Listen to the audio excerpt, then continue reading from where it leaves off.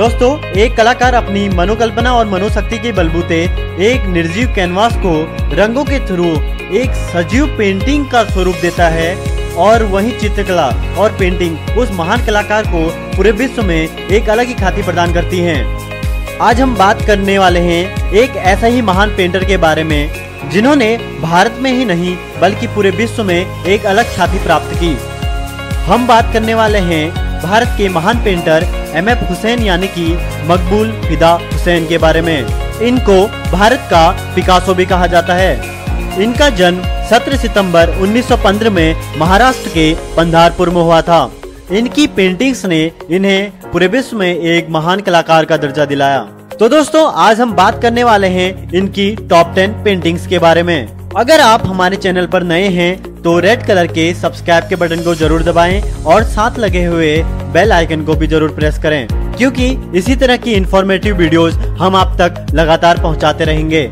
और बने रहिए हमारे साथ अंत तक, मैं हूँ लखन सिंह और आप देख रहे हैं लखन आर्ट गैलरी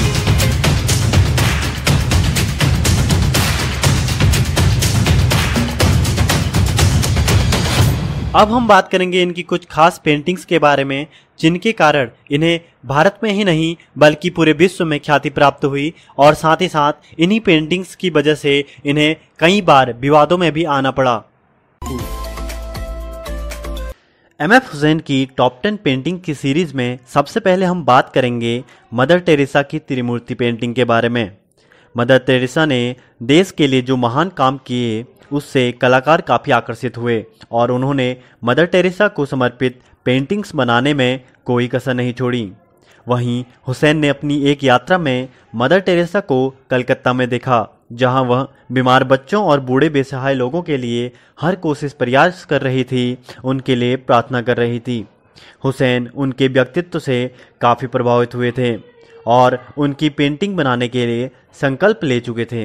हुसैन ने अपनी इस पेंटिंग में मदर टेरेसा को त्रिमूर्ति के रूप में दर्शाया है, जहाँ मदर टेरेसा के व्यक्तित्व को बखूबी चित्रित किया गया है। आप इस चित्र में देख सकते हैं कि मदर टेरेसा को बच्चों, जानवरों व असहाय लोगों को सहारा देते हुए उनकी देखरेख करते हुए दर्शाया गया है। मदर टेरेसा की त्रिमूर्ति पेंटिंग की कीमत तीन लाख बीस हज़ार डॉलर से ऊपर बताया जाता है। अब हम बात करेंगे एम एफ़ हुसैन की हॉर्स पेंटिंग के बारे में। कलाकार एम एफ़ हुसैन केवल परिदृश्य के बारे में ही नहीं, बल्कि जानवरों के प्रति लगाव के कारण उनकी पेंटिंग्स बनाने में भी काफ़ी दिलचस्पी लेते थे, जिनमें उनके पसंदीदा थे घोड़े। एम एफ़ हुसैन की अधिकांश पेंटिंग में घोड़ों के प्रति उनका लगाव बखूबी देखा जा सकता है। हुसैन की यह हॉर्स पेंटिंग इसमें इस्तेमाल हुए रंगों की पसंद के कारण सबका ध्यान आकर्षित करती है। यह पेंटिंग नीलामी में 1.3 करोड़ रुपए की कीमत पर बेची गई। यह painting the horse that look back नाम से लोकप्रिय हुई। अब हम बात करेंगे एम एफ़ हुसैन की माधुरी दीक्षित पेंटिंग के बारे में। माधुरी दीक्षित उन चंद अभिनेत्रियों में से एक थी, जिन्होंने अपनी शैली और व्यक्तित्व से कलाकार को प्रभावित किया कि कलाकार ने उन्हें अपने कैनवास पर चित्रित करने का फैसला किया। उन्होंने अभिनेत्री की कई छवियाँ बनाई, जिन्होंने अभिनेत्री की सुंदरता को बेहतरीन तरीके से दर्शाया। M F Hussain Madhuri Dixit painting भी उन कुछ में से एक थी, जिसे आलोचना और विवादों के बराबर सराहना मिली। शीर्ष दस की सूची में एम एफ़ हुसैन की एक पेंटिंग दी पपेट डांसर भी है। बहुत से लोगों को इस तथ्य के बारे में पता नहीं होगा कि कलाकार को खिलौनों के लिए बड़े पैमाने पर प्यार था और इस तरह उसने कभी भी अपने चित्रों में उनके लिए अपने हमेशा के प्यार को चित्रित करने का अवसर नहीं छोड़ा। पेंटिंग में महिला, घोड़ा नृतक योद्धा आदि जैसे कई तत्व थे जिसने पेंटिंग को पूरी दुनिया में लोकप्रिय बना दिया। नीलामी के दौरान यह पेंटिंग 1.5 करोड़ में बेची गई। एम एफ़ हुसैन की अगली पेंटिंग है battle of Ganga and Jamuna उन सभी के लिए जिन्होंने इस पेंटिंग के महत्व को नहीं समझा पेंटिंग ने सही और गलत के बीच नियमित युद्ध का प्रदर्शन दिखाया गया है। हमारे दैनिक जीवन में भी हम लगातार सही और गलत विकल्पों के बीच दुविधा का सामना करते हैं। एम एफ़ हुसैन पेंटिंग में एक ही भावना थी। इस पेंटिंग में उन्होंने विभिन्न प्रकार के रंगों का उपयोग किया है, जैसे कि गहरे और चमकीले रंग, जो विशुद्ध रूप से सही और गलत चीज़ों के बीच की लड़ाई का चित्रण करते हैं। इस पेंटिंग को विश्व में काफ़ी सराहना मिली और क्रिस्टी में नीलामी के दौरान इसे 9 करोड़ में बेचा गया।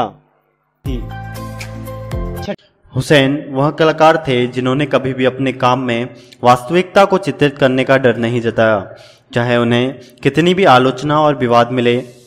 यह पेंटिंग थिएटर कलाकार सफदर हाशमी पर चित्रित की गई थी।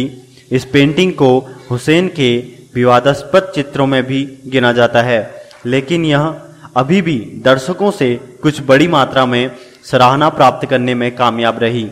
कोलकाता की नीलामी में यह पेंटिंग 4.4 करोड़ में बेची गई थी। हिंदू देवी देवताओं पर कलाकार द्वारा बनाई गई पेंटिंग की तरह एम एफ़ हुसैन द्वारा की गई सरस्वती पेंटिंग विवादों की सूची में शीर्ष पर थी। कई लोगों ने दावा किया कि कलाकार ने हिंदू देवताओं को निशाना बनाया और मुस्लिम लोगों पर कुछ नहीं बनाया। पेंटिंग में इस्तेमाल की गई छवियाँ कई लोगों द्वारा आपत्तिजनक बताया गया, क्योंकि इसमें देवी सरस्वती की नग्न प्रस्तुति ने कई हिंदू अनुयायियों को बहुत नकारात्मक तरीके से आकर्षित किया और कलाकार के काम का बड़ा विरोध किया। एम एफ़ हुसैन की एक और विवादास्पद पेंटिंग आती है, Bharat Mata painting by M F Hussain चित्र में भारतीय मानचित्र को नग्न महिला के साथ साथ कई अन्य प्रोमो के रूप में दिखाया गया है। पेंटिंग की प्रस्तुति को शायद ही किसी ने स्वीकार किया और इसे दुनिया भर में आलोचना मिली। कलाकार ने लाल और नीले जैसे गहरे रंगों का उपयोग करके भारतीय मानचित्र की कठिनाइयों को चित्रित किया, लेकिन यह नग्न महिला के रूप में जो निर्माण किया गया, उसी ने सभी का ध्यान आकर्षित किया और वह भी गलत कारणों से।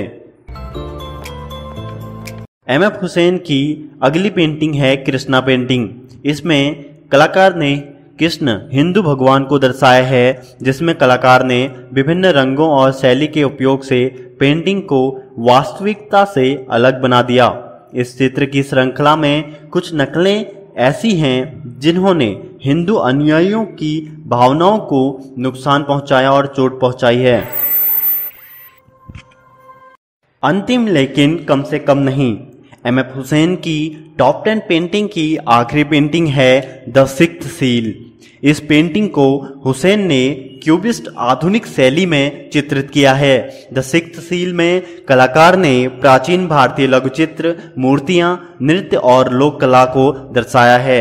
यह उन पेंटिंग में से एक है जिन्हें उनके जीवन के आखिरी दौर में नीलाम किया गया, जो कि 3.7 करोड़ में बेची गई। दोस्तों, अगर आपको ये वीडियो अच्छी लगी हो तो इसको लाइक करें कमेंट करें और इसको शेयर करें। और अगर आप हमारे चैनल पर नए हैं तो इसको सब्सक्राइब करना ना भूलें।